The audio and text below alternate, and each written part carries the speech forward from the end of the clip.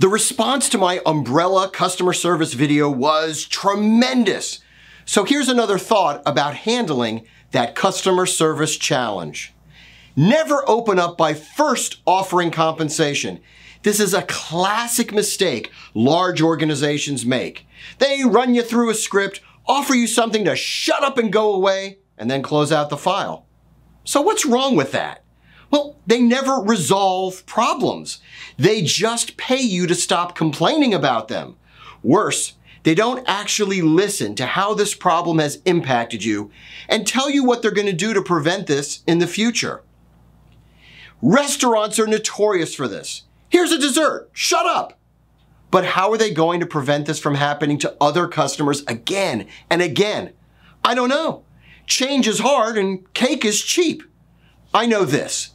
Feedback is a gift. If a customer is complaining, they're saying, I want to love your business, just fix this.